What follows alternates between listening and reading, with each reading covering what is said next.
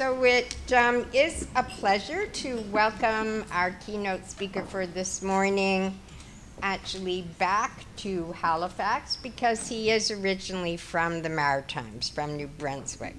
However, Dr. Peter Zed has decided to explore the other coast of Canada and he's now an associate professor and associate dean for practice innovation at the Faculty of Pharmaceutical Sciences and also an associate member of the Department of Emergency Medicine at the University of British Columbia. As you can see by his biography, which is in your program, he's very actively involved in both teaching and research. And the topic on which he's going to present has certainly been a major area of interest for him, particularly in terms of his uh, research, and he is, as you can see, going to present on when does an adverse drug event become an emergency. Welcome.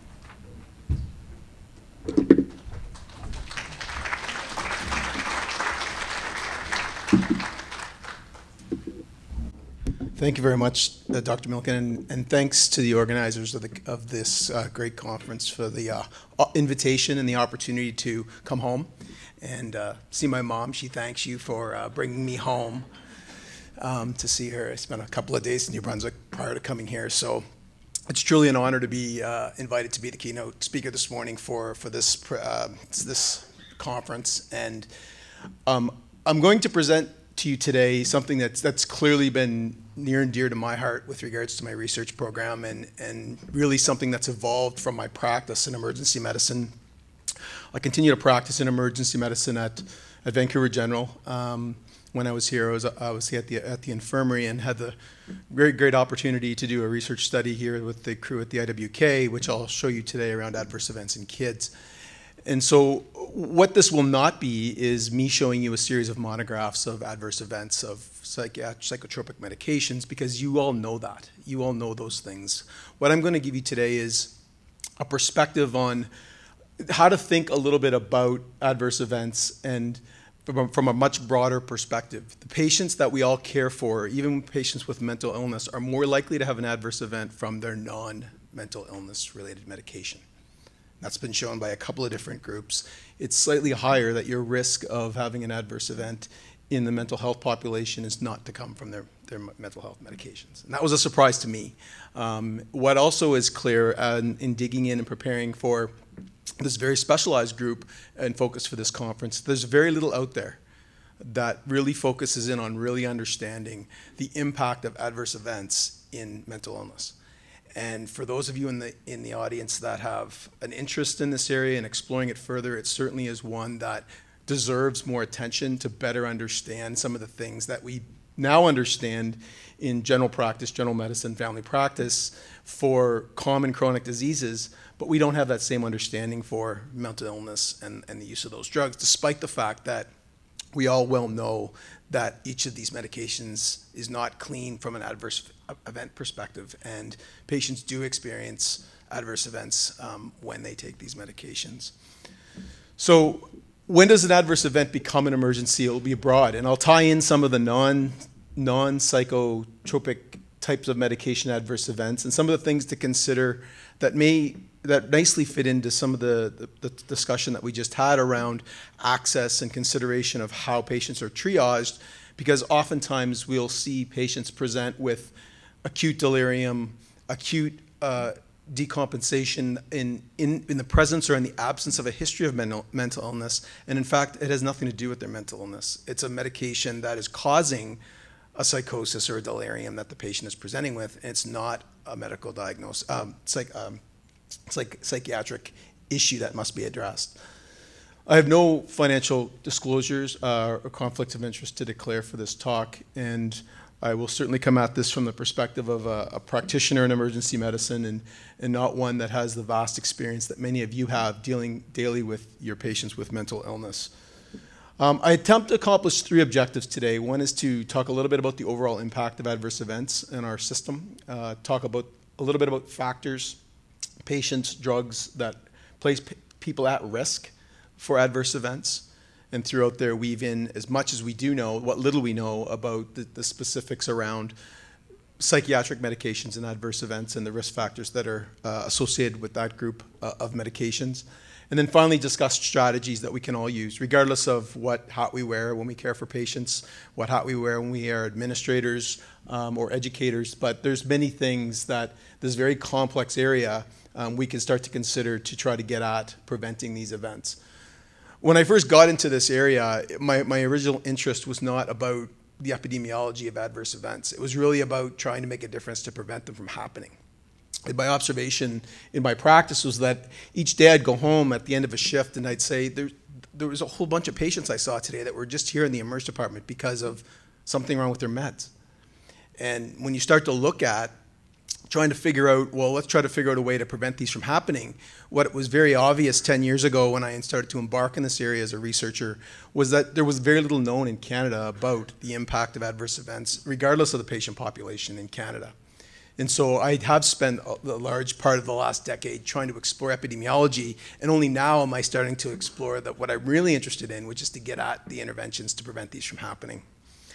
I'm going to present a series of cases today, and I've, I, I, have a whole series of cases, as you can imagine, from the, the work that I do clinically and research-wise, and I've, I've selected three cases today that I'll, I'll sprinkle in throughout the talk.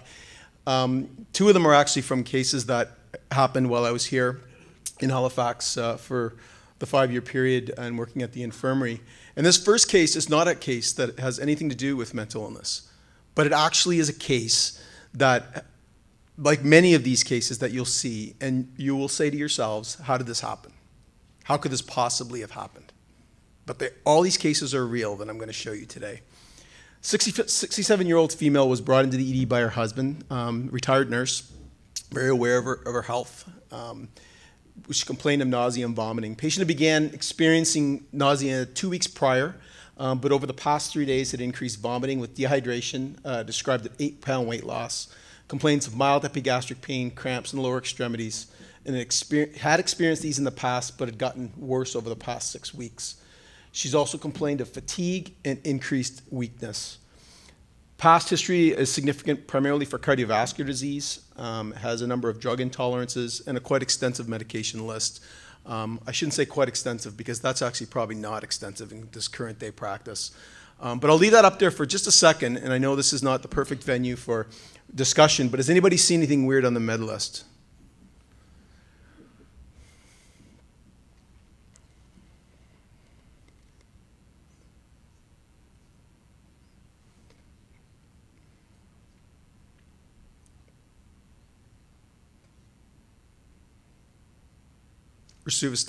Dose, double, double what the current recommended maximal dose is for this drug class. Now, this patient, when you look at this patient, she's not in acute distress. She's just fed up with the symptoms that she's been experiencing and appear to be worsened. Um, and so, in a typical emerge setting, she gets a full panel of lab results that come back, and this is what comes back hyperkalemic, acute renal failure, tra elevated transaminases, CK and a myoglobin that are through the roof. Now, this is a, this is a classic, everyone knows type of adverse event in a very commonly used drug class in every patient population. Statin-induced myopathies, myalgias, very common. Statin-induced rhabdomyolysis and acute hepatotoxicity, not so common, but obviously quite dangerous. And this patient, interestingly enough, had it happened to her using a drug at a dose that was never intended for it to be used.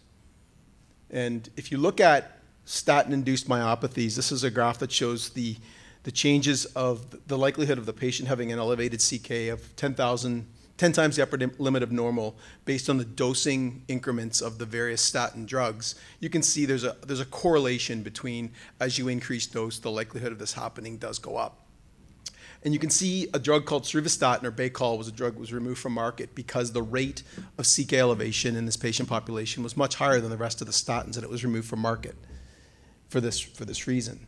Rosuvastatin at the dose that you saw this patient take was studied and it was found that the rate of CK elevation was exactly the same as was experienced with the drug that was removed from market, but it was used in this patient.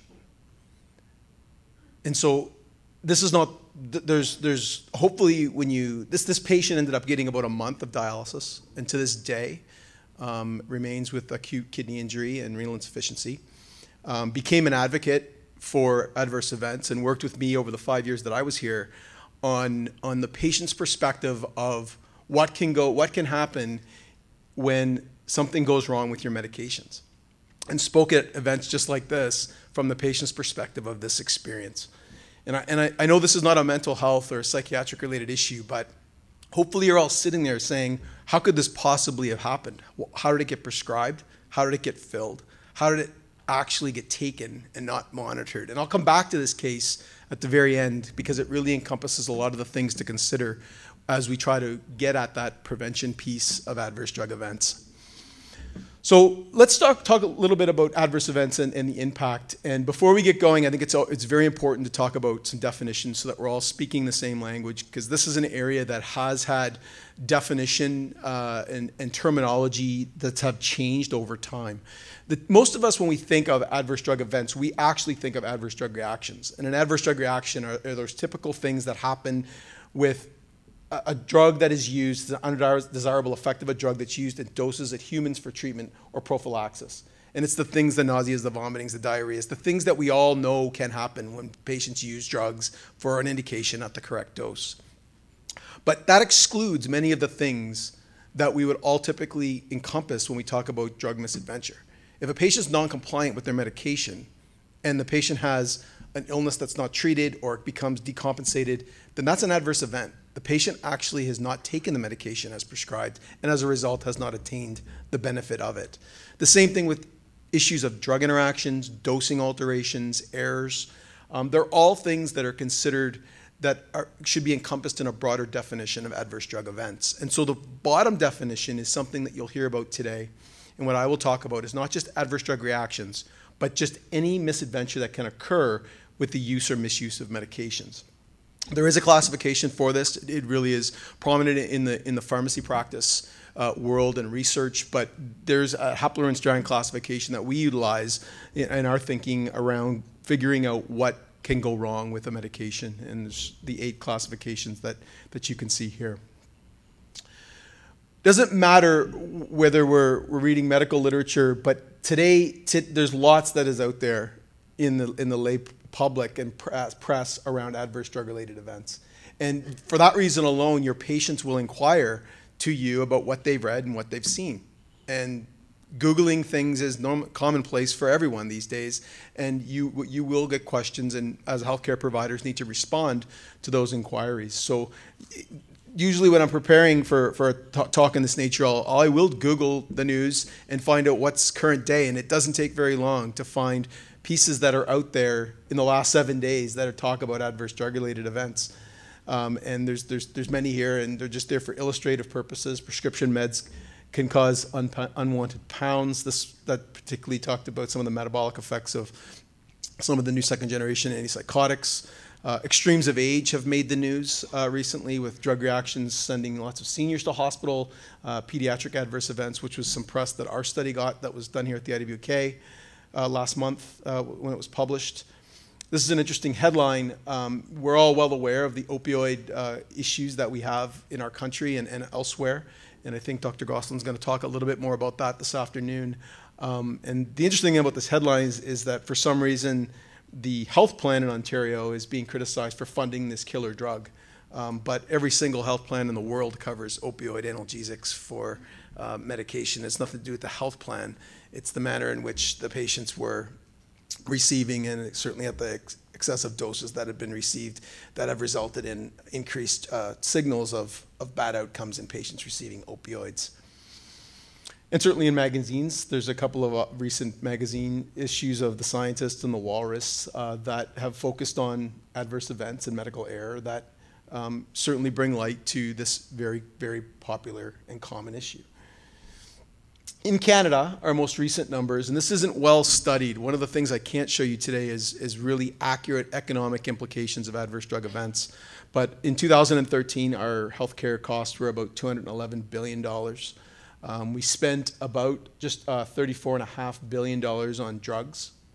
um, which is an increase of about 3.5 billion from the three years prior. Um, and it's been estimated through a series of modeling that we spend in our country about $21 billion a year just managing adverse drug events. And that's healthcare costs, that's things such as lost productivity as a result of adverse events that patients experience, but about $21 billion. No small amount of money that's certainly being spent on managing adverse drug events. Regardless of where you practice, this is a, a picture, pictorial that talks about the continuum of care as patients may traverse from their home uh, with acute illness, may end up in an emergency department, come into an inpatient environment, hopefully go back home. And in that middle ground, we have ambulatory and outpatient care that patients will spend most of their time um, as, as outpatients uh, working with their family healthcare teams or family physicians um, and other healthcare providers in the community. Adverse events can happen in all these areas. And 10 years ago, if I were to show you this picture, I would be able to fill in no, no data to describe what the impacts were in Canada. And the, there's a, I'm going to walk you through a series of studies. I'm only going to show you Canadian data. And I'm not going to spend a ton of time on each study, but just to impress upon you that the rates of adverse events throughout our system are much higher than I anticipated when I started working in this area, and probably much higher than you anticipate um, sitting here today. Um, this is a drug-related hospitalization study that looked at all hospital admissions to an internal medicine service um, and found that a quarter of all the patients sitting in that inpatient bed in internal medicine were there because of an adverse drug event. And if you look at the types um, the very first type is the adverse drug reaction, the pure adverse drug reaction type. It only made up 35%. So two thirds of the events were things that had nothing to do with just the typical ADRs. It was issues with the wrong drug, the wrong dose, compliance issues, um, be using drugs for uh, a situation where there's no indication to use drugs, drug interactions. And 72% of these were preventable. And that number will become a recurring theme as we go through. This is one of our first emergency studies, um, and I'll come back to this study a few times because it does have some nice pearls specific to the mental health uh, related issues. Um, this was a study that was done in Vancouver, Vancouver General, where we looked at all emergency department visits um, over a period of, of time in, in about just over a thousand patients that were prospectively randomized and selected and found that 12% of all the ED visits were adverse drug related events. Uh, again, a 68% preventability rate. And again, you can see that ADRs only made up about 39% of the events themselves. So a lot of the events were actually caused by other causes. Interestingly enough, surprise finding in this study is that if you were there for a non-adverse drug-related visit, your rate of admission was about 21%. But if you were there with an ADR, your rate of admission almost doubled to 36%. So not only that, you spent a median of three and a half days longer in hospital. So the resources consumed by this particular patient population are again significant. And this was a surprise finding. We did not expect to see this when we described the disposition of our patients, but it is, was reproduced even to a more marked effect when we looked at the pediatric population, as you'll see in a second. In, emerged, in psychiatric presentations or psychiatric medication adverse events that emerge, there's very little out there. And I, and I show you this, this one study um, with reluctance because this particular group, uh, sorry, not the group, but the particular methodology that's used in this study has historically shown that the rates are very, very much underrepresented on what we actually see. And so this is a retrospective um, database uh, study where that you looked at patients that present in the US over a two year period from 2009 to 2011 to figure out if the patients were coded in their electronic health system as being there because of an adverse event related to their psychiatric medications. And just to give you a sense of how uh, underrepresented these numbers have typically historically shown is that when you do these same studies in the same populations but do them through prospective design, you end up finding rates that are eight to tenfold higher than what you see in administrative database work. And as a researcher in this area, it's very clear to see why. Is because some of these events you cannot ascertain at the point in time you see them in emerge.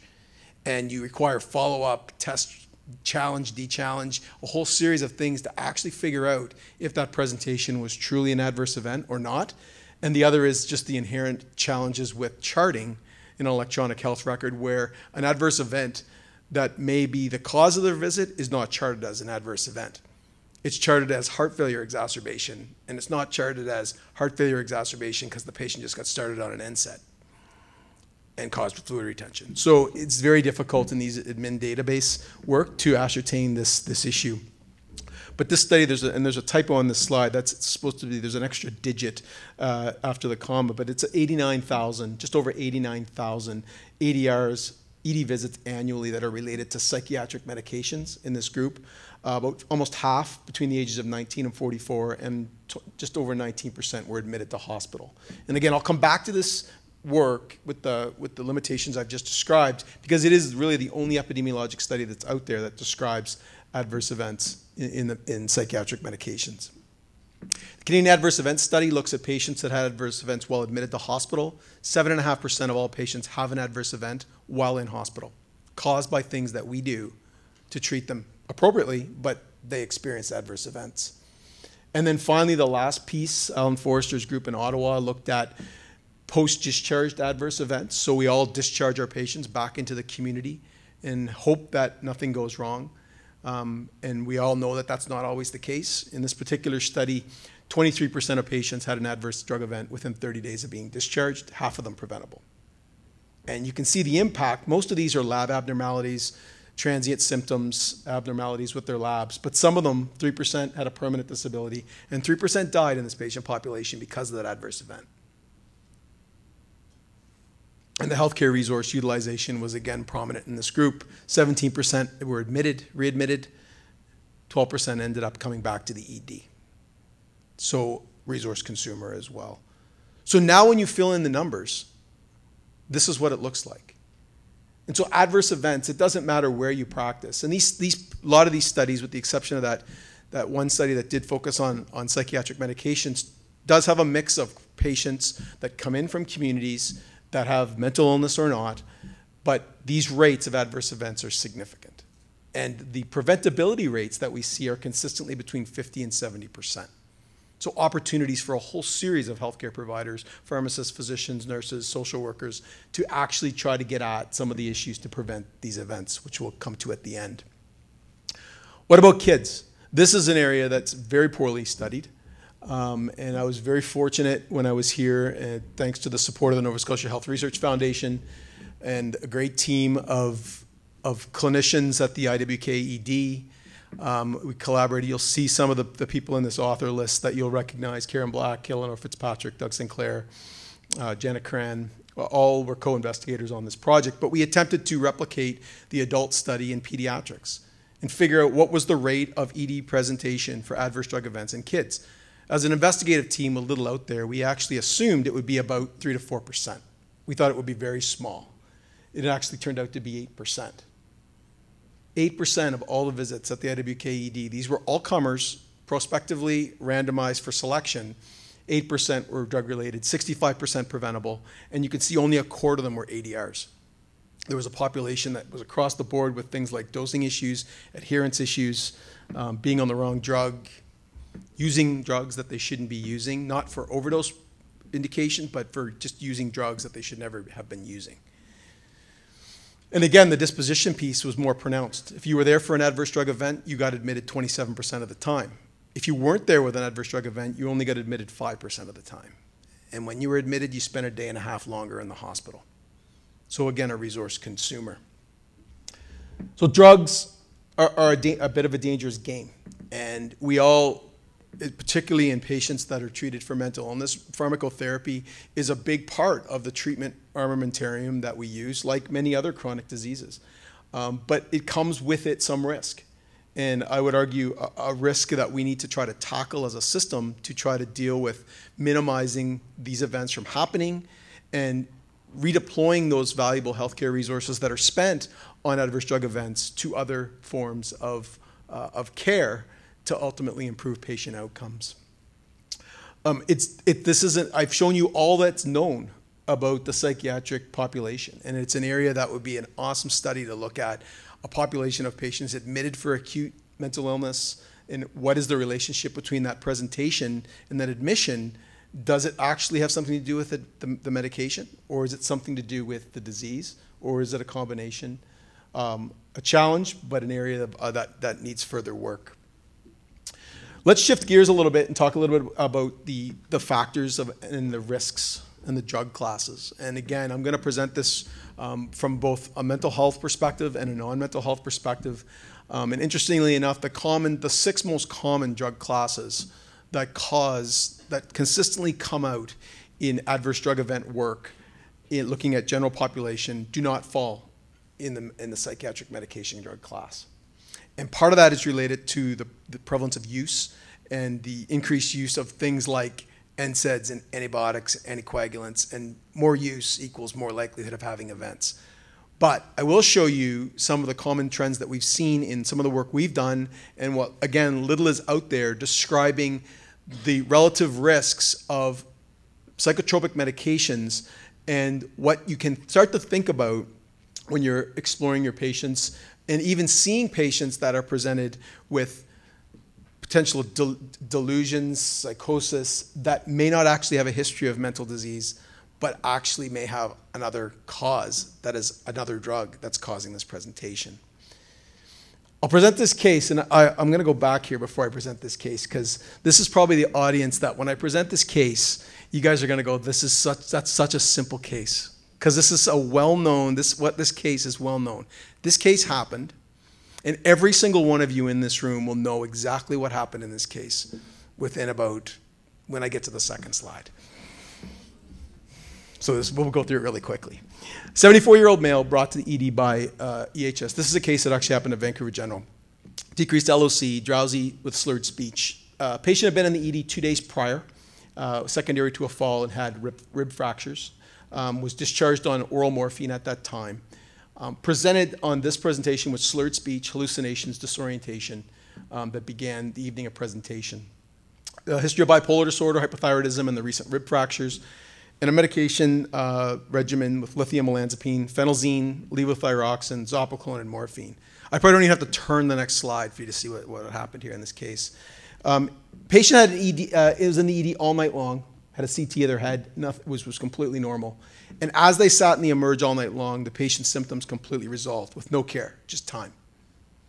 And it was decided at that time that the patient had actually presented with opioid-induced adverse events the hallucinations, the slurred speech. Was just a reflection of the opioids. And because they went away with really nothing else, that's what was thought to be the working, working reason for which they came. So a drug-related presentation in itself.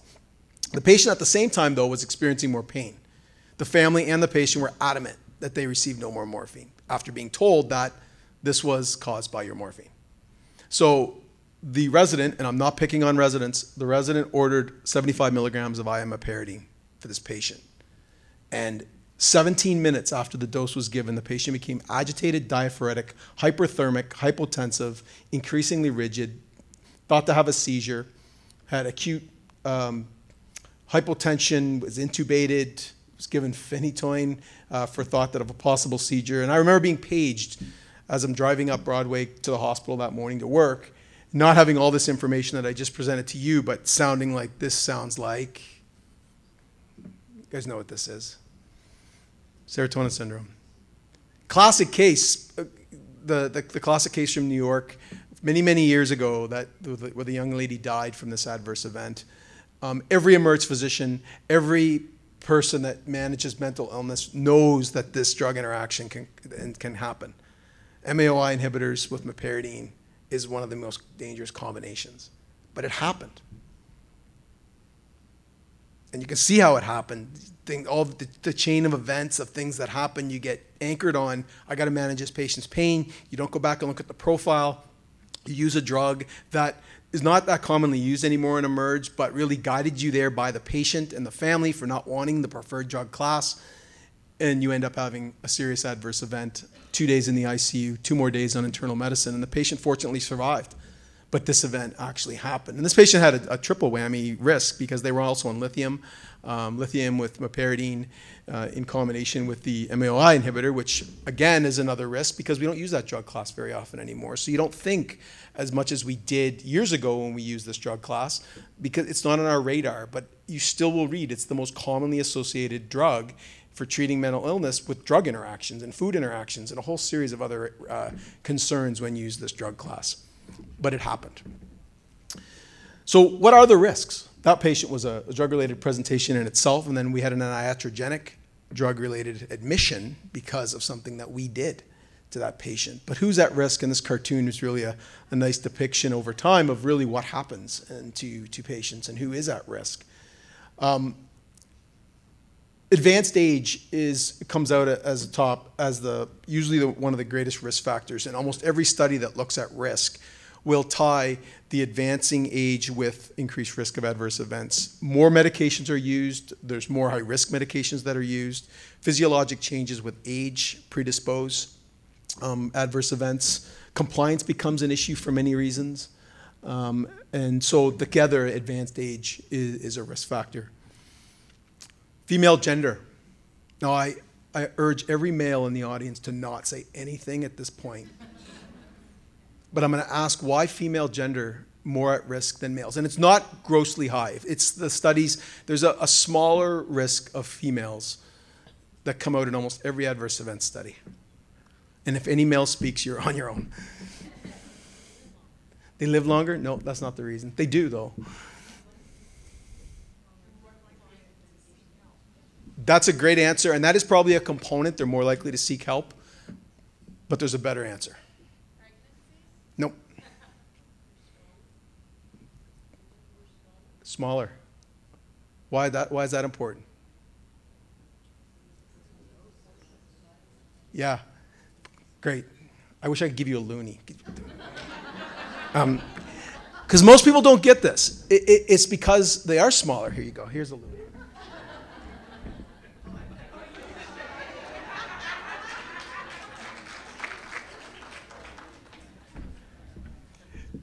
We dose medications all the time on fixed doses. And for smaller people, they get higher milligram per kilogram doses. And so higher doses equal higher rate risk of adverse event, the dose related phenomenon. And that's why females come out slightly on top, which is the next bullet item. Um, renal dysfunction is a big one, obviously, for drugs that are renally eliminated. There's a direct correlation in every study that's looked at this as the number of comorbidities and the number of medications a patient's receiving directly link an increased risk. And we saw this in our work. It's the estimates, I'll show you on the next slide, but there's somewhere between a, a 10 to 20% increased risk for every additional comorbidity and every additional drug that you're taking for the likelihood of having an adverse drug event. And then there's the particular drug classes. Um, sorry, I'll go back to this, that one slide. This is just some work, some of the work that we had done that, that links comorbidities and medications. But one of the other factors is the number of prescribers. And you end up, for obvious reasons, having multiple prescribers, not necessarily always communicating with each other, in a system where we oftentimes don't see the full profiles for patients. So, in a patient being prescribed medications from for mental illness, may be different from the patients that are prescribing other chronic diseases, and there may be other prescribers in the mix, but multiple prescribers in itself is a risk factor for adverse drug events. These are the drug classes that are most common. I'm going to quickly walk through them because the focus is not on general practice today. Um, I'm going to quickly go through them, but I'm going to highlight some things to think about that are relevant to patients that are on these drugs that maybe also be treated for, for mental illness. But 60 to 70% of the adverse drug events that we see in the work comes from these, these six drug classes. Um, the ED study, I skipped over the hospital admission study because it's a bit of a not, not, not necessarily appropriate to talk about the drug mix because in the hospital in which it was, was done, I'll, I'll show it to you, the hospital in which it was done, the patients that were admitted for mental illness didn't actually go to this ward. So you wouldn't expect to see the drugs on this list related to mental, mental illness management. But the ED study was more telling in that the top two drug classes were antibiotics and opioids. But class number three and class number four were antipsychotics and benzodiazepines, two commonly used drug classes in, in the patient population you care for. And antidepressants are also down uh, on the list to a, to a lesser extent. But they were, were very prominently uh, there in our adverse event work um, as being a cause for the ED presentation. And in the pediatric study, central CNS active drugs actually made up about 20% of the visits. And you'll ask, well, what, what were they? Uh, a quarter of them were actually benzodiazepines that were the cause of, of the presentation for some way. And a lot of them were common, well-known side effects, mental status changes, but it was benzodiazepines as a common drug class, followed by anti-epileptic drugs. and then there was a mix of other drugs that made up smaller percentages, including antidepressants and antipsychotics in kids. So quickly about these drug classes, uh, most likely to be preventable are the antibiotics. We are not going to withhold antibiotics from patients that need them. Um, the common adverse events, GI, allergic reactions, um, and the reasons are oftentimes adherence, wrong antibiotics, being on drug interactions, or having resistance to the, the agents in which you're using to treat, the bugs that you're using to treat the antibiotic. Um, interestingly enough, in my practice, I've seen a number of patients present with antibiotic induced psychosis, mania, and delirium. In an ED setting, they present, oftentimes there, there tends to be more males than females. I've seen about a dozen cases in my career of antibiotic induced psychosis. And they tend to occur in the first couple of days of the initiation of antibiotics, but can occur later on in therapy.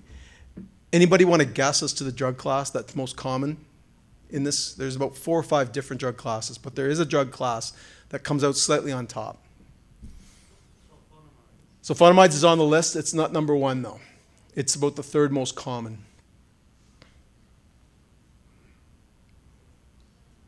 Yeah, the quinolones are number two. Ciprofloxacin, well described. It's been described with levofloxacin as well. But the clarithromycin-induced psychosis is the, the most common cases that I've seen have been involving the macrolide class of antibiotics, specifically clarithromycin. And these, these are patients that do not have a history of mental illness and they present. And so the discussion we had earlier about medical clearance versus do you go right to psychiatry, this is a relevant issue where your patient presents with what may appear to be a psychiatric presentation, but in fact, it, this is not, it is not a psychiatric uh, presentation. It's a psychiatric adverse event to an antibiotic. Anticoagulants, extremely common, extremely dangerous. High INRs, low INRs are very dangerous. Anticipating drug interactions is the big one, and there's a number of drugs that we use in mental illness that will impact the intensity of anticoagulation. Carbamazepine, valproic acid are common drug interactions with warfarin, and although you may not be managing the warfarin part of it, you are managing oftentimes the valproic acid, carbamazepine, that will result in drug interactions with, with the warfarin, particularly on initiation or discontinuation. So monitoring is, is key um, in this patient population. We all get worried, and I know I emotionally feel different when I see an INR that's too high versus an INR that's too low. But an INR that's too low is equally as dangerous as an INR that's too high. And this work that was done by Natalie Oake um, showed that 44% of all hemorrhagic complications occurred in patients where there was an INR that was too high, and 48% occurred in patients that had an INR that was too low for thromboembolic complications. So they, they carry the same risk of having an intensity of INR that's actually off, off kilter. Patients that present to the ED oftentimes have poorly managed anticoagulation. And so when we're managing acute mental illness, if we're also compounding this patient population's drug therapy with other drugs that will impact it, you're already dealing with a patient population that has poorly managed INR control. Only 43% of the patients that present to the ED actually have an INR in the therapeutic range and 33, almost 34% are above. Diuretics, beta blockers, calcium channel blockers, digoxin, common cardiovascular medications, but relevant to your patients because your patients oftentimes are managed on drugs that can compound this adverse event profile. Hypotension, issues of, of, of uh, exacerbating uh, and complicating adverse event profiles of drugs like lithium in the combination of, of diuretic use um, are commonly and well, well described. Um, that, yes, again, we're not managing the cardiovascular adverse events, but it may well be the combination of the beta blocker with the calcium channel blocker with the antipsychotic that may be resulting in your patient becoming ortho, experiencing hypotension or orthostatic hypotension. Hypoglycemics, I won't say much about that. There's not a significant link to the mental illness or psychiatric medications, but we're all well aware of the low blood sugar adverse events. Um, what's really alarming is the, comp the, the, complications that result from the newer oral hypoglycemic agents, particularly around the fluid retention that we see with the glitazone class, um, which now is completely contraindicated in any patient with heart failure. Um, because of some of the some of the work that had been done that looks at numbers needed to harm for causing MI or heart failure in patients using that drug class versus other forms of oral hypoglycemics. And so we used to see for a whole series of, of years before these black box warnings were in place, patients present with acute decompensated heart failure that never really had severe heart failure to start, but are now sitting in acute fluid pulmonary edema in the ED after the initiation of this drug class. And so it, it is definitely of concern and something that you can historically see has changed with the manner in which we use this drug class in our population. And then finally, usually the number one, and certainly a drug that is used in every population, is NSAIDs. And these are some statistics from the US that links uh, NSAID related deaths. Oops, that's the wrong slide. Let's look at this one. The Canadian, the Arthritis Society of Canada, sorry, um, presented, uh, linked NSAID associated deaths in Canada as greater than MVAs, drownings, fires, and gunshots in our country. And almost combined, there it's, it's greater than. So NSAIDs is, is a common risk, and it's a drug class that your patients, every other chronic disease, and every other patient uh, is oftentimes exposed to that does place with that risk. We're all well aware of the GI complications. We're well aware of, of some of the other things that can result from renal dysfunction, worsening heart failure, allergic reactions. But we, we have seen cases where the drug interaction, because of worsening renal dysfunction, precipitates a lithium toxicity. And the patient presents with lithium toxicity, but it's because you've knocked off their renal function. They have acute kidney injury because of the acute initiation of an NSAID. And so COX-2, uh, and the celecoxib is, is really the, the prototype here that we're, we're talking about, um, carries the same risk in this regard as your traditional non-steroidal anti-inflammatories. So back to the ED study that we looked at for mental, for psychiatric medications. In this particular study of the 90,000 some odd visits each year that are linked in this database, um, the sedative hypnotics made up about 34%, the antidepressants about 28%, antipsychotics about 24%, and lithium about 4%. But if you look at the second bit of data, um, it's actually the number of events per outpatient pres prescriptions written. So even though the sedatives were highest on the list as a general representation amongst the population, it represented a smaller population compared to the number of prescriptions that were written for benzodiazepines in this data set. Whereas if you look down the list, the lithium and the antipsychotics were had a higher rate comparative to the number of prescriptions that were actually written for this drug or drug class.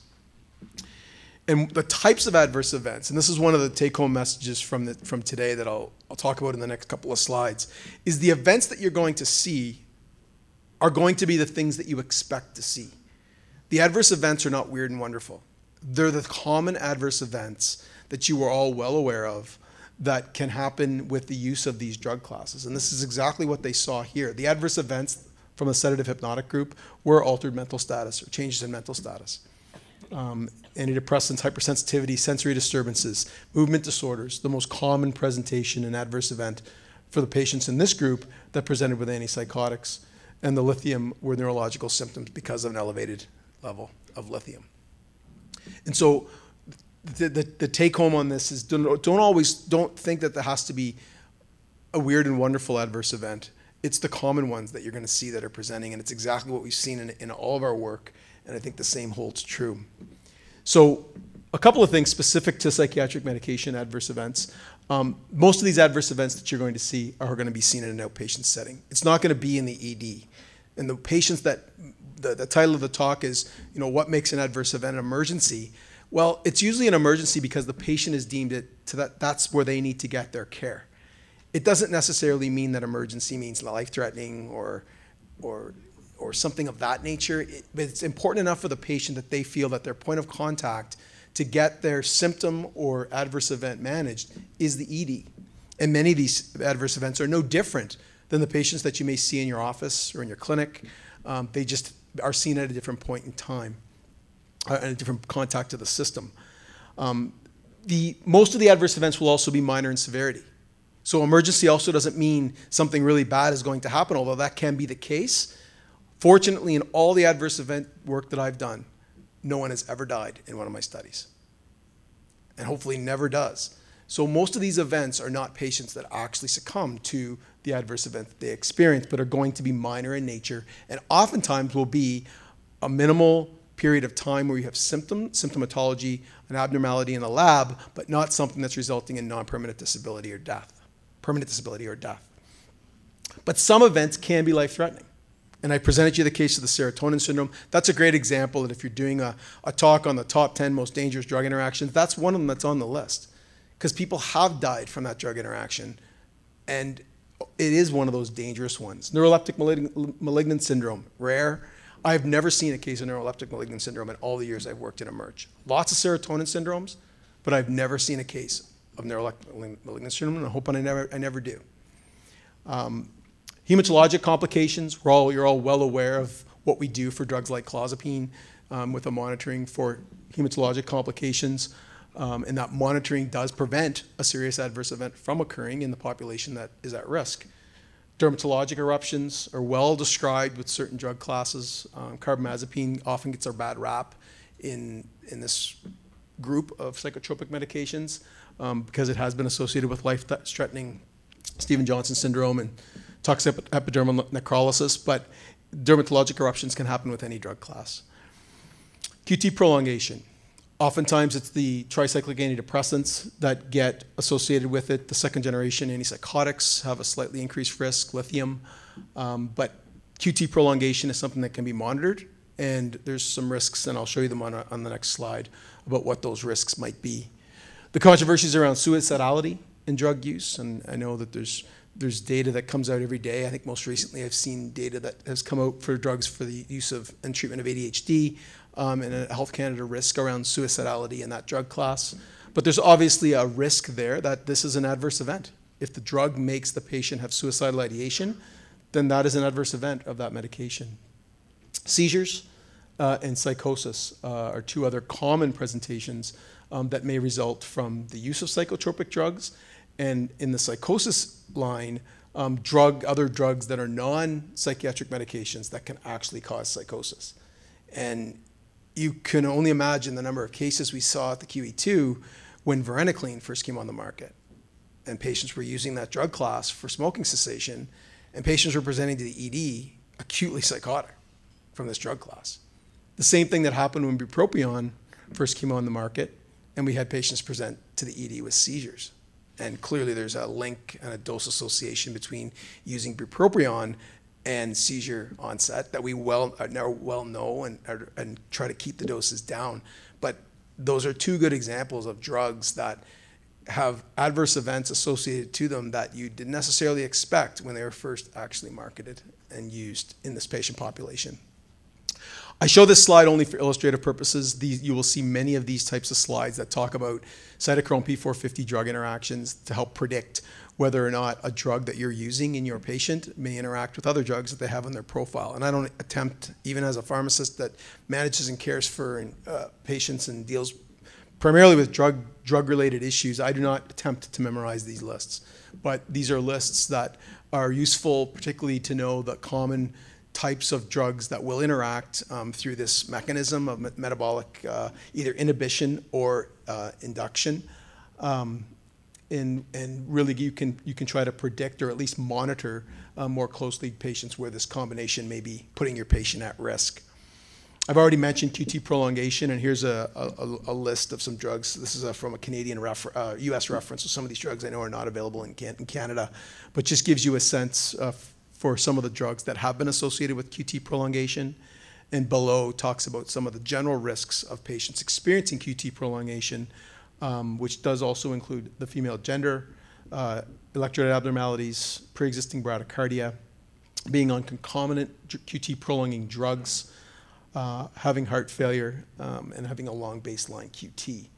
So there's a website here that I use regularly in my practice where I got a patient where I don't have one of those obvious QT prolonging drugs on board, but the QT is prolonged. Should I be concerned?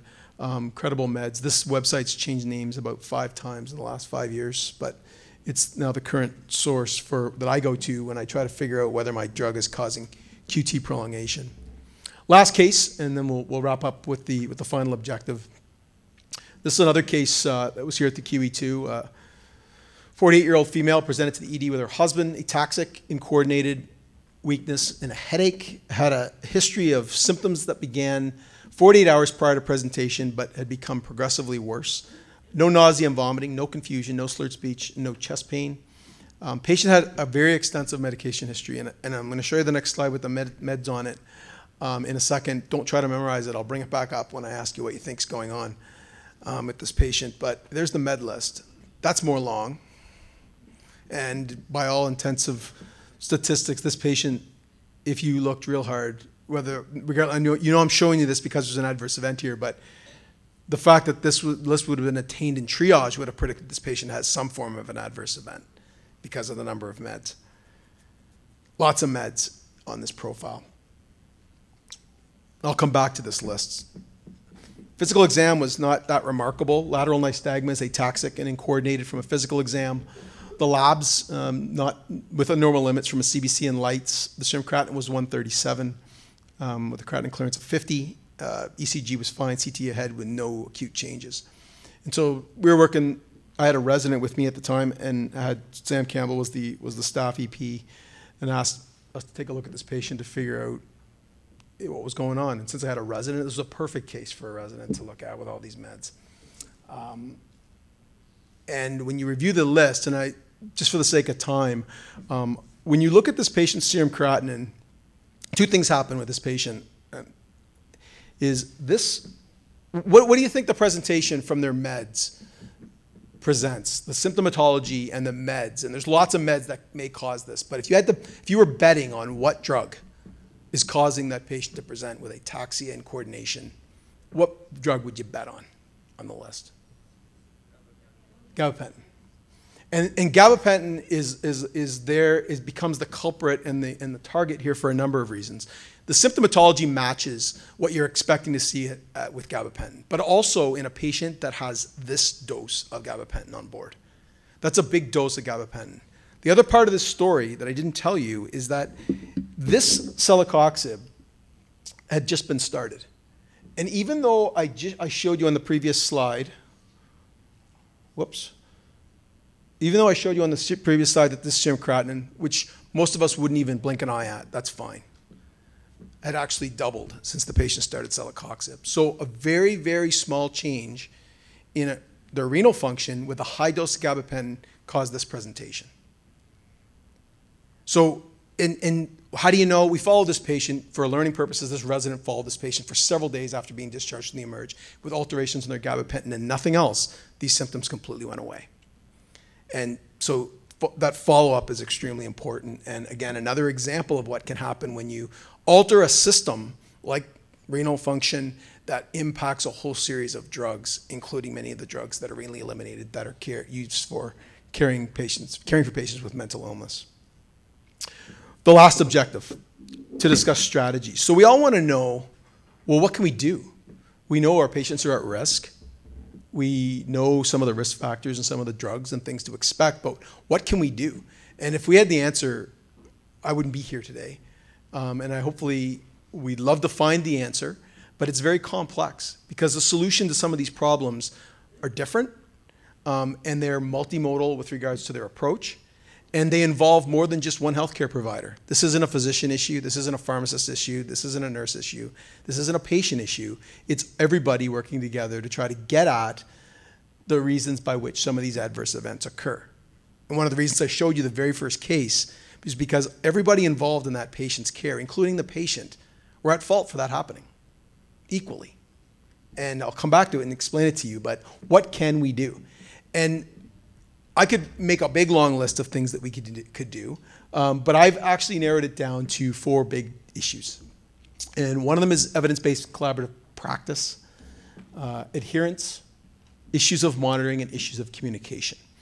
And I feel that if we really are purposeful in our approach to managing patients' pharmacotherapy in this manner, we will get at the 50 to 70% of preventable cases. We're always going to have the cases that happen that can't be prevented. But let's get out the 50 to 70% that are preventable. Evidence based practice. Mental health in care, at least in the, in the mental health teams that I've seen here the, in Halifax, in my current practice in Vancouver General, are truly teams. And it's one of the reasons I love working in Emerge because I feel I work in a team of a whole series of healthcare providers with a goal in mind to improve that patient's care. And evidence based practice does involve a team. And there's a whole series, particularly in, in the daily activities of your practice, that have things to do with meds or not meds, social work issues, economic issues, other family dynamics, a whole series of things that directly impact the patient's ability to get good evidence based care. And so I, am a completely strong proponent of team based care. And I think that mental illness and mental health delivery in our country is probably a great example of how team based care is absolutely necessary to get at these issues. But we make therapy drug, when it comes to drug therapy decisions, um, as part of that team based care, we use a whole series of things to come up with the best options for patients. And obviously, this is, looks like it's equal codependent parts, but the evidence base really is what should guide our decisions. Using best practice and best evidence to get our patients on the drugs that we, we can predict more readily that we will get a good outcome and hopefully not a bad outcome or an adverse event. But that obviously has to be balanced with our clinical experience, our patient preferences, and then what we oftentimes defer to is the pathophysiologic reasoning as to why we use drugs. And I can get into a whole, your colleague David Gardner can, probably has talked to you about this before, about the fact that does it really matter how the drug works? Because sometimes the drug works for a reason that we have no idea why it works. It just works. Or it works for a reason that is not congruent with the actual mechanism of action of that drug. So who cares about how it works? But our students will oftentimes defer when they're talking to patients. They will often start here. Your dr- this is a drug that's used for this, and this is how it works. And that's okay. But to me, this is the least important of the decision making factors about drug therapy. Um, it should fall from the evidence based practice and patient preference. Just a couple of pearls on, on, this. Individualization of therapy is extremely important, and putting that patient in, on the best, best regimen for them is, is an obvious one. Being aware of high risk drugs and high risk patients. And I've talked to you a little bit today about what some of those high risk drugs might be. Um, some of those high risk patients characteristics um, are, are true regardless of, of the patient population in which we're caring for. Duplication of therapy continues to be a problem. I still see patients on three different benzos and two different NSAIDs and a whole series of choliner- the, the anticholinergic burden that patients have because of the combination of drugs that actually have anticholinergic side effects. So we can do a better, still do a better job with duplications of therapy. Anticipating drug interactions. Interestingly enough, in all the work we've done, drug interactions hasn't been prominent as the reasons patients present. It's the other drug classes. But drug interactions um, are something that we should be aware of and in situations where we know we've got something that's potentially problematic that we can avoid, avoid it. Many times we can't, and that requires more monitoring. And it's okay to have a patient on a drug interaction. Just monitor it appropriately to catch it before it becomes more significant clinically. Being aware of adverse drug related events related to discontinuation and withdrawal. And this is per, per, preferably relevant in the, in the populations that you care for because you're always switching drugs or altering drugs. And we have withdrawal syndromes and we have tapering regimens and switching regimens that are very well tabulated and documented in, in um, various places around how to do that for patients with mental illness. But patients can have exacerbations of their disease during this tapering and withdrawal period that are relevant and are adverse drug events. If you don't need it, don't start it. If it's not working, stop it. We're awesome at starting drugs. We are awesome at starting drugs. But deprescribing, the current term that's kind of making its way Ontario centrally uh, outwards um, is, is, the, is the way in which we now to start, have to start more purposefully about deprescribing drugs. Patients don't oftentimes need all these drugs that they're started on, and we are very, very um, guilty of starting drugs and not really thinking about is that really working? And do they actually still need this drug after a period of time has passed, or the reason for which it was used has gone? And the final piece on this slide is new is not equal better. It rarely actually equals better. Um, but it always means we don't know yet about adverse drug events and drug interactions. Always means that. And I can show you lists of drugs that have been withdrawn from the Canadian market in the last couple of decades, some of which are in the mental health uh, armamentarium that have been withdrawn because of things that we found post marketing. This is a study from the US that looks at drugs up to 1999, and I'll show you a more updated slide next. But in general, over the course of over a 25, this is a Kaplan-Meier that they developed for, for this um, estimate of a drug actually getting withdrawn from market or having a black box warning applied to it after marketing. and you get about a 25% chance of that happening. So a quarter of the drugs that come out that are new, something will go bad with that drug that we find out after the drug has been marketed and used. And hospitals, here's a plug for hospitals. Hospital formularies often get criticized for not adding new drugs to formulary. And usually it's like it costs too much money. That's part of it. Part of it is the fact that it's oftentimes not better than what we already have. But one of the things that that process does allow is to not get into this situation. And there's lots of drug examples of things that never got added to a formulary and two years later didn't exist on the market because of an adverse event. So the, the, the processes that we have in our formulary system in, in hospitals sometimes is beneficial to our patients. Um, this is just a more up to date, and I don't want you to focus on this one, but this is just, uh, again, a black box warning application to drugs. And you'll notice a spike here in 2004, and you'll start to see here a, a higher rates of black box warnings applied to drugs up to 2013. What happened in 2004 to cause the spike? Does anybody remember a significant post marketing? Pardon? Uh, no, that's maybe contributing as well, but the, but the main spike is caused by another drug class. But that's a good one. That's a good one as well. Rofecoxib.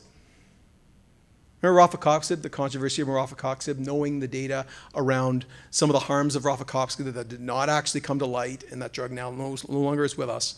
Um, but that so it caused this increased surveillance and black box warning application um, after 2004. But I, I actually get, agree with your SSRI comment as well. That's another one that likely contributed to that. Adherence, big, big issue. And I know it's a big issue in patients that are treated for mental illness. It's a, it's a big issue, though, in patients treated for chronic disease as well. And drugs don't work for patients who don't take them and take them the way that they're supposed to be used. These are two studies that are, when I show these to our, my pharmacy colleagues and our pharmacy students, they feel depressed because we're always teaching our students how to counsel our patients on how to take their medications properly and, and how to properly educate patients on their use. But these two studies look at effective approaches to improving medication adherence in patients with chronic diseases, including patients with mental illness. And the first systematic review said that counseling, monitoring, education shows minor effects in some studies and none in others, while the evidence is weak to support any particular recommendation for pharmacist interventions. So what we teach our students is completely useless.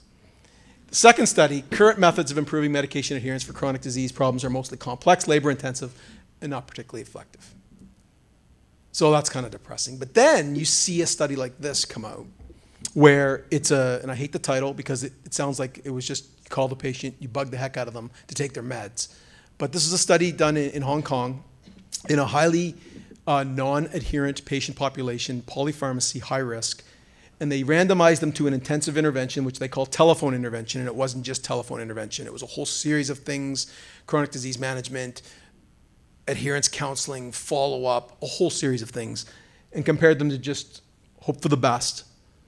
And they found that there was a, an absolute risk reduction of 6%, number needed to treat of 17 for the reduction of mortality in patients that had the intensive intervention.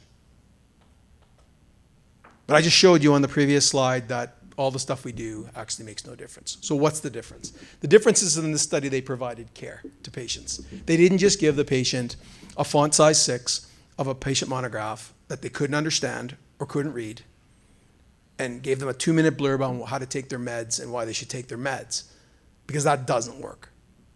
But what does work is a comprehensive approach to care for patients in which you actually do a whole series of things including proactive follow-up, disease management, monitoring, working in a team-based environment to actually make all those components that the previous slide said were complex, but complex means necessary to actually make a difference, and in this case, reduce mortality. So it's not actually as simple as this. It's far more complicated than this. And anyone that thinks that, and I think people are starting to realize that adherence is a big issue. It consumes a major resources, and outcomes are not achieved. Um, outcomes are not achieved in patients that actually don't take their meds. And I could show you lots of slides, and I don't have them here in this set, but lots of slides that show you that when patients don't take proven therapies, their outcomes are not what you would expect them to be if they did, in fact, take those proven therapies. Last couple slides. Monitoring is, is critical. Um, there's lots of examples of the monitoring, and I'm not talking about blood level monitoring. That's one form of monitoring, but proactive follow up and monitoring can catch these adverse events and intervene on them before they become serious enough to actually come to an ED or even come to a healthcare provider in an outpatient setting. So sometimes it's as simple as a phone follow up, or sometimes it's a scheduled appointment to uh, manage and figure out whether or not the medication regimen that they're on or have just been prescribed is effective or actually causing harm. This actually made the news in, in, a, in a program that where they actually did follow up patients. Um, this was being done in a community and pharmacy environment, but patients were followed up um, to resolve drug-related issues or reactions that occurred and found to significantly impact the number of patients that went on to get a more serious adverse event and result in another healthcare contact to a hospital or an ED. And then the final piece is communication. We do a very terrible job in our system with communicating with each other. And I'm not talking necessarily with each other here in the room. I'm talking about acute care connecting with community care, the providers in community care connecting with each other, even the providers in the acute care setting connecting with each other. And sometimes there's gaps in communication are the result of the patient actually having an adverse event because things just get missed. The monitoring doesn't get done, the follow up doesn't get done in my practice, when I'm one of the common things that always makes me nervous is when I see a patient in ED for a pain management issue and I send them home on a new regimen that I know needs to be followed up in 24 hours or 48 hours to figure out the changes that we made in the emerge matter to that patient. Are they having harm? But I have to rely on the communication by a colleague, a family physician, a specialist in the community that can do a great job. But sometimes it's always worried about is it going to actually happen? Because if it doesn't happen, something bad could happen to this patient, or they could actually not get the, the benefit that we're attempting to achieve. So communication is key. I'll show you this one study. I won't show you the whole study. I'll just tell you about. This was a study that was done in Ontario um, that looked at information exchange between physicians. this was a physician-to-physician study of information that was obtained between physicians that cared for patients in an inpatient setting, and was it transferred back to the family doc? And you know, I'm in an environment where I always see discharge summaries being done, and I assume they're going to the family physician from, from the inpatient care team. But the results of the study is that healthcare information is often not shared. Only 17% of the patients, of the physicians in this group, the GP side, received the information from what happened in hospital care. Now, that summary seemed really low to me, but that's what they reported, and this was an Ottawa-based study um, of poor communication between acute care and chronic care. So if, if we did this for any healthcare provider, I could show you this pharmacist to pharmacist, it's probably worse than 17%. But we just need to be better at communicating amongst all the people in the system. I'll wrap up by coming back to the case I started you with. That patient experienced what continues to be a persistent adverse event because of using a drug they should have probably they should have never been prescribed at, at that dose should have never been dispensed. And this, this patient, actually, the, the, the, the remaining parts of the story, and I'll close, is this patient had been on statins her whole life and had been on every single statin that had ever been on the market. And she had had myopathies and myalgias every single time she switched, every single time she's actually changed doses. This is a normal thing for her. She had a standing order from her family, from her cardiologist to get lab monitoring done when this happened. She normally got it done. She got it done so many times with no issue that when it happened again, she said, no, this will just go away like it does every other time. The guidelines for cardiovascular management of lipids at the time changed from an LDL target from two and a half down to two. So there was more aggressive approaches to try to get the treat the number. And so this was also at the time where this dose was doubled to try to go after a number. And a patient LDL was 2.3, they were going after to get it down to 2. So there was a consult note written by the cardiologist to prescribe the 80 milligram dose. The pharmacist called on it, and the cardiologist said, continue to, to dispense the drug, and it was dispensed. So whose fault is it? It's everyone's fault. And the reality is, is it's not an issue of blame. It's an issue of learning about how we can actually get at these problems. This is a, there's a whole, we could talk for, we could talk for a whole hour just on this case, but this is a systems issue that involves the patient, the providers, and everyone involved in the case to try to actually get at these problems. Because this lady, I'm sure, uh, if you were to go back, the pharmacists, the physicians involved would do things differently knowing that this happened to this patient. So there's a long road ahead. Adverse events is a is a certainly an interesting area, and in, in mental health, health, there's a large opportunity to do work. Um, I wish I could have shown you very specific things around mental health and adverse events, particularly around epidemiology. Um, but there's just not there's nothing out there uh, that does that I can I can show you. There's lots of work that is being done by very many people in the country um, that are attempting to make drug therapy safer for patients, um, and will continue to do so. I hope I've been able to accomplish my objectives today that I've set out to do. Um, and I again thank you very much for the honor of actually presenting to you today. And uh, I'm happy with the chair's permission to answer any questions.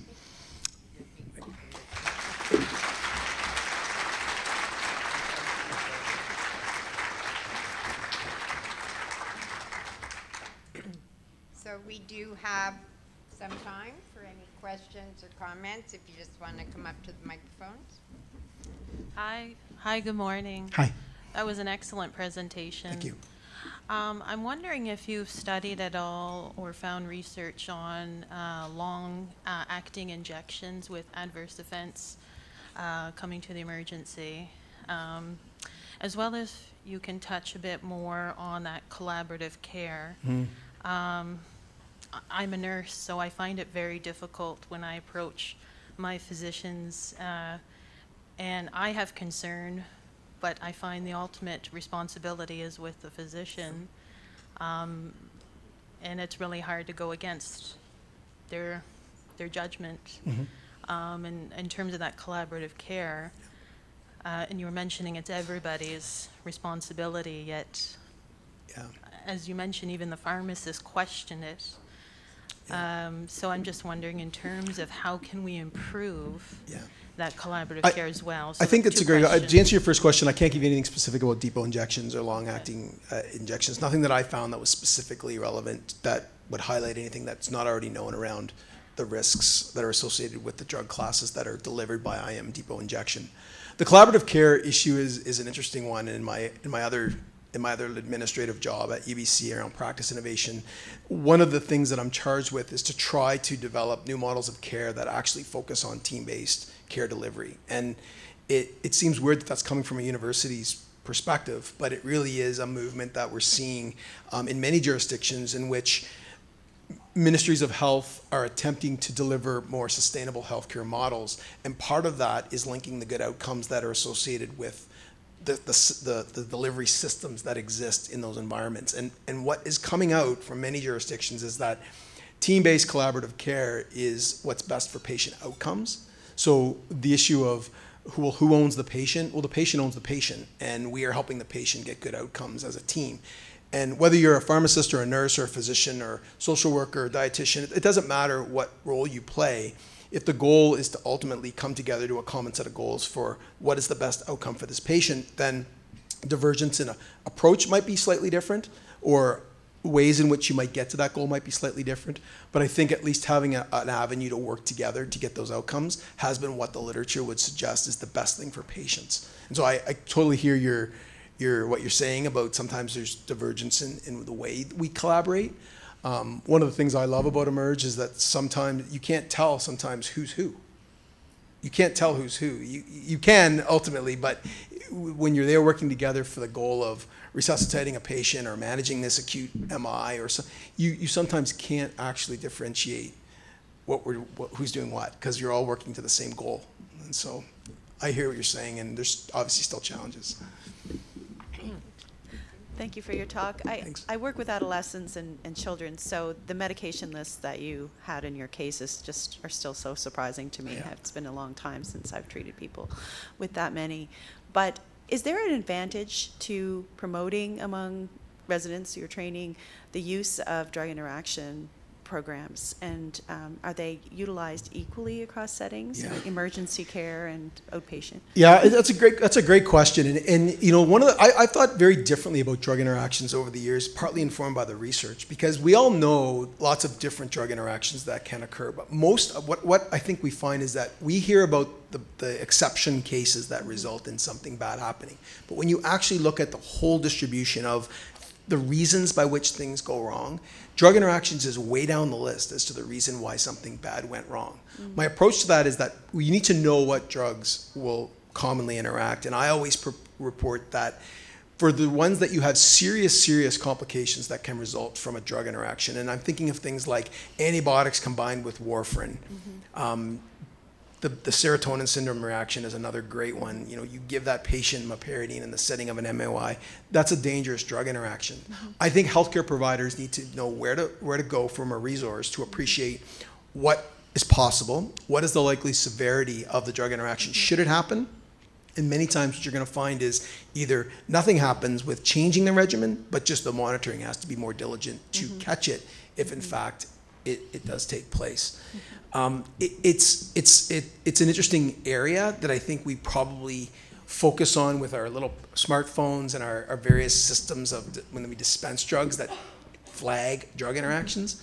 Um, but many times it's flagging all drug interactions, and many of them are actually clinically irrelevant. And so appreciating the difference between common and serious um, are important. And I, but I do think healthcare providers should know where to go to look for drug interactions. The one we use at Dalhousie now, it's been upgraded over the mm-hmm. last two years, does give both the, the strength of the interaction and reliability Yeah. rating as well as the recommended management. Yeah. So those are quite helpful. But I, yes, for anyone in private practice in the community, those programs cost two hundred dollars Yeah. a year or more.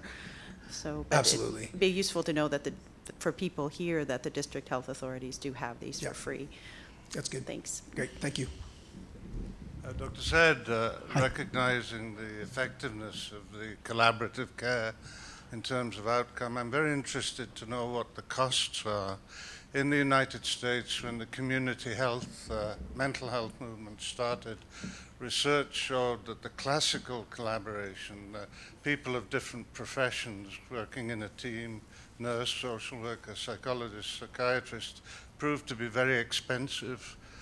Is it similar in what you're talking about? Yeah, I think I think it, that's a, a, not an easy question to answer because I think in the models that we're working on, I can give you I can give you the BC experience of what's happening now. Is that we're working on models now in a province where the primary care teams are not established. So for those of you that are here from Ontario or from Ontario, you know that the family healthcare team model has been established there for many years, since the early 2000s, and have integrated healthcare providers together in prim- primary care.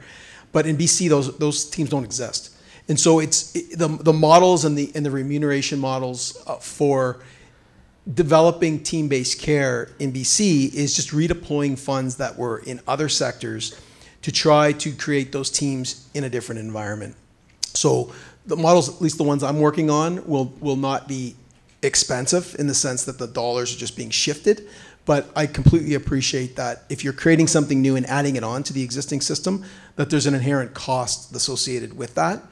Um, I guess the belief is that the outcomes that would be achieved would offset those costs by having better outcomes for your patients and less ED visits and less utilization of acute care services because patients are managed in the community or in primary care environments better um, should offset some of the cost of building those primary healthcare teams. But certainly, different jurisdictions are going to have different uh, models and economic impact to creating those teams. No question. Good question. Question? I gave you a loonie, so you have to be very gentle. Oh, I, I was not going not only going to be gentle, I was going to thank you. I mean, it was so accessible that even though as a social worker I can't spell half the things that you said, I, I, I think I got some really important information. And um, I don't expect your talk to be all things to all people, but I work with a client population with a high level of antidepressant use, but also a high level of cannabis use at the same time. So I'm I'm interested and these are not inpatients, but family prescribed uh, antidepressants. Um, and then the second group of people I'm, I'm interested in in terms of uh, uh, some of what you talked about is the increasing number of people and the huge industry in uh, herbal and vitamin interaction. I wonder if you could comment on those two. Thank you. I, I think that your first question about the impact of cannabis is, is Dr. Goslin here? No, I think she, she'll be Shh. Oh, Sophie's right there in the back. So I think Sophie, I, Sophie, are you going to talk about cannabis in the context of your talk this afternoon? Yeah. So Sophie's talk this afternoon is going to focus more on the recreational side. So I think it's, I'll leave that question to her because she can give you probably a much more intelligent sounding answer than I will. Um, because the focus of mine obviously was not on recreational drug use, but certainly the drug interactions and eh, the drug interactions and some of the risks that occur with complementary and alternative medicines, and I'll use that term, I know there's many different terms that people will use, um, are problematic. And we see things like the, the drug interactions that can result from drugs like St. John's wort that, that interact with a whole bunch of things and is not a clean drug from that perspective. The, the, the, the one thing about that drug class is that patients are often reluctant to tell you that they're even on them. And so one of the challenges is to actually get that patient to tell you honestly what they're taking. And you have to ask those questions. This is, I guess, the art of history taking, in that patients don't see those as drugs. So you have to ask them the questions in a, a number of different ways to get them to reveal to you what, in fact, they're taking on a complementary and alternative medicine perspective. And some of those drugs are fine, but some of those drugs do have implications to adverse events, and some of those drugs do have a risk of, of drug interactions. And so I think from that perspective, I think we, if we could start with getting patients to reveal um, their their profile and not actually feel that they have to hide it because it shouldn't be a secret. Um, that that's a long way to go to start to consider how that is impacting that patient's overall health, and help to educate them on whether or not they should continue or not, or on what circumstances they should continue um, the use of, of that, that form of therapy. But it's a good question, a big challenge, um, particularly in the population of patients that I deal with in Vancouver, where there's a large Asian population that does use lots of complementary and alternative medications as part of their care. And uh, there's nothing wrong with that. I think, but their willingness to share that as part of our understanding is, is a key part of us being able to help them as a healthcare provider. Good question.